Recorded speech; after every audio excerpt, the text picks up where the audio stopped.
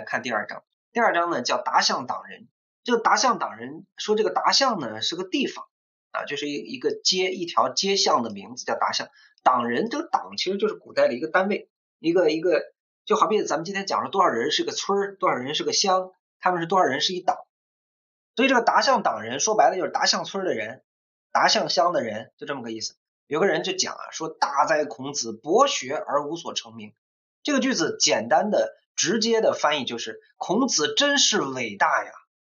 他的学问如此的广博，却没有任何一项可以使他出名。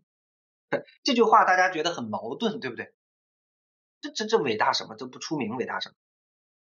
这个句子呢，往往有两种解释。一种理解是达向党人由衷的赞美。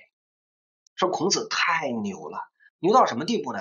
什么都会，甚至什么都精通，精通到大家没办法说孔子更精通什么，以精通什么出名，你辨别不出来，因为他什么都精通，你说不出来他精通。就是大家提到孔子，不会说，哎，那个射箭最好的人是孔子，哎，不会这么不会这么讲的，因为他什么都特别好，啊，这是最常见的一种理解。当然，还有一种人理解就是讽刺孔子。前面那个大哉孔子是带着讽刺的，你说你真牛啊，你什么都会呀，但是你没一个出名的，叫样样通，样样稀松，对不对？感觉是那个感觉啊。那哪一种更合适呢？实际上，我个人比较赞成的是第一种啊，就是达象党人跟这个在外面讲说孔子这个人真是厉害，什么都特别精通，博学而无所成名。这是他的这个前半句，我们来看后半句啊。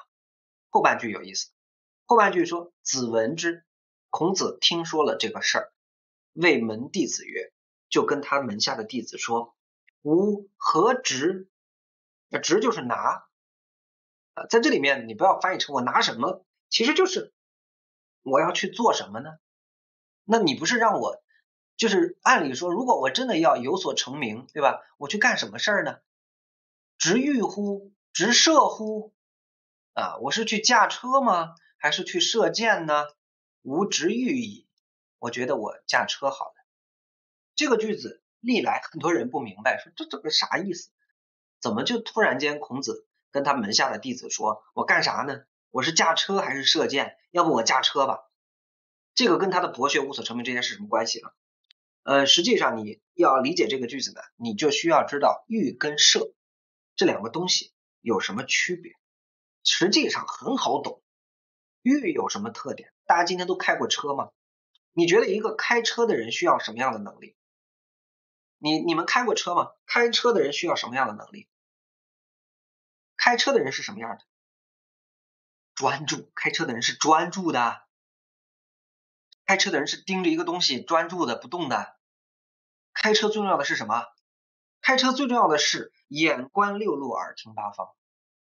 开车驾车最重要的是博，明白这个意思吗？所以孔子其实在用欲和射来来代表两种不同的状态。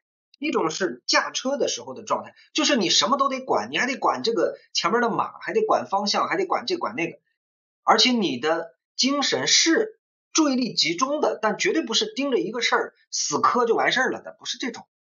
欲是要博的，是要眼观六路，耳听八方的。但是射不是，射箭是什么样的？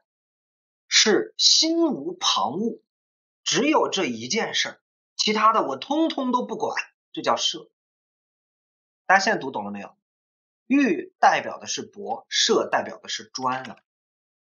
孔子说：“我做什么呢？我是到底是要去驾车呢，还是要去射箭呢？”我觉得我还是驾车吧，所以大家明白这个意思吗？我这么一讲，你们是不是豁然开朗，突然间就懂了？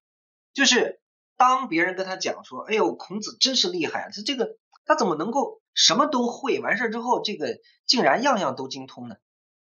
呃，孔子听完之后说：“因为我在这两个事儿里，我更加倾向于，我觉得哪个更好？我觉得还是博更好。就是人在这个世界上，如果如果可以做一些事情的时候，不要。”不要让自己只盯着一个事儿上，成为一个专才，这个也特别符合孔子的哪个观点？大家知道这个特别符合孔子的哪个观点？君子不齐，是不是特别符合这个观点？对吧？我们来到这个世界上啊，我们尽可能让自己更开阔一些，不要让自己变成一个狭窄的人啊，不要让自己变成一个工具人，对不对？所以在这里面呢，孔子其实是用欲和射这两个，就我们当时讲叫六艺，六艺当中的两种很重要的艺，用这两种不同的状态来代表博和专。啊，孔子说：“我是一个倾向于博的人。吾何直？直欲乎？直射乎？吾直欲矣。”他说：“我，你觉得我是走哪边？我是走这个驾车的呢，还是走这射箭的呢？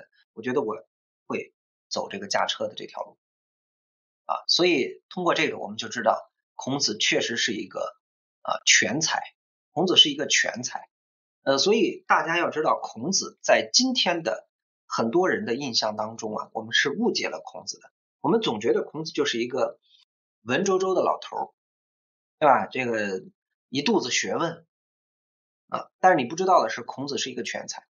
孔子武艺高强，孔子射箭技术极为高强。《礼记》当中讲到，孔子呃专门在一个地方射箭啊，秀他的射箭技术。观者如堵墙，就是大家过来围观的人，像围的跟墙一样。就是孔子的技术极其高超，这也是为什么孔子在活着的时候就有人说这个人简直是个圣人，简直是天生的。你知道为什么在那个《论语》当中出现那么多次，孔子要反复的强调说：“我不是个圣人，我不是生而知之者，我是后来努力学的。”是因为他什么都特别厉害，他什么都特别厉害。你放在今天，恨不得就是这个人又是全中国最厉、最有学问的人，完事这个人又是散打冠军，你敢想象吗？这人是射箭的奥运冠军，完事对吧？所有的六艺全部都通。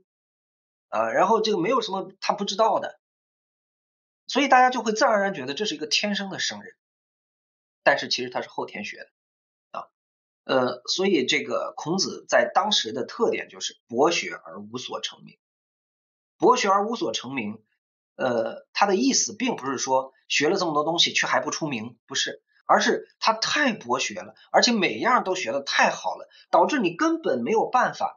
去说他是有哪一项出名的，他是样样出名，样样都厉害。这是这个九点二里边讲到了孔子。